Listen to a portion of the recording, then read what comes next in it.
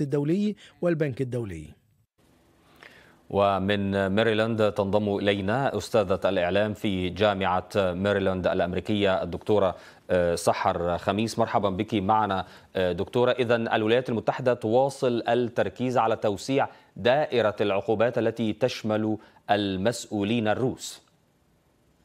شكرا لكم على الاستضافة. بالفعل هناك قرارات جديدة صدرت في إطار العقوبات الاقتصادية والمالية المفروضة على روسيا. طبعا على خلفية الاجتياح العسكري الغاشم على أوكرانيا وكان من أحدث وأهم هذه الخطوات كما نعرف وقف الواردات من طبعا الغاز والوقود الروسي إلى الولايات المتحدة الأمريكية. ونعرف أيضا أنه صدر يوم الجمعة أيضا قرارات جديدة بخفض سقف التعامل التجاري والتبادل التجاري بين الولايات المتحدة الأمريكية وروسيا بحيث تفقد روسيا مكانتها بين قوسين كدولة مفضلة من حيث التجارة والتبادل التجاري والاقتصادي مع الولايات المتحدة الأمريكية فتم خفض سقف هذه التعاملات التجارية كما أيضا وقفت أو وقفت جميع الواردات القادمة من روسيا في عدة مجالات من بينها المأكولات البحرية والأحجار الكريمة أو الماس تحديدا وأيضا الخمور الروسية الشهيرة. كل هذا يعتبر يعني نوع من أنواع التضييق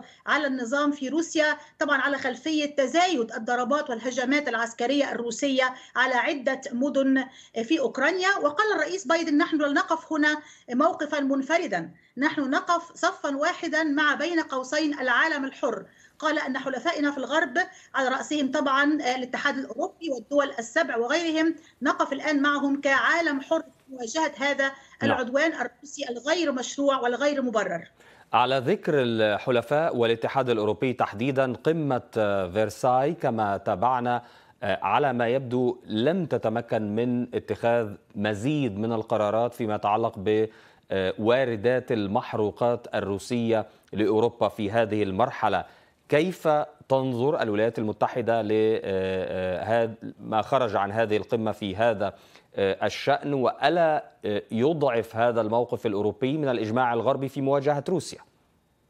لا شك أنه كان هناك رغبة في أن يكون هناك مزيد من الإجماع أو الموقف المتحد في هذا الإطار ولكن نعرف أن الدول الأوروبية لها مطالب واحتياجات مختلفة فيما يتعلق بالوقود. نعرف على سبيل المثال الموقف الألماني. عندما تحدثت ألمانيا عن أن صادرات روسيا من الوقود هي أمر هام للغاية وتعتبر من أهم مصادر الطاقة بالنسبة لألمانيا وبالتالي أبدت ترددها وتشككها في جدوى أن يكون هناك إيقاف لهذه الواردات من روسيا من حيث الوقود والغاز. طبعا نتفهم هذا الموقف خاصة أن أوروبا ما زالت في فصل الشتاء ويعتبر طبعا هناك احتياج كبير في هذه الحالة للوقود والغاز. ولكن في الوقت نفسه لا شك أن الولايات المتحدة الأمريكية كانت تتمنى أن يكون هناك موقفا أكثر اتحادا في هذا الإطار لأنه كما نعرف ملف المواجهة العسكرية أو خيار المواجهة العسكرية المباشرة مع روسيا غير مطروح. رئيس بايدن أكد هذا مرة أخرى أو مرارا وتكرارا وقال ليس هناك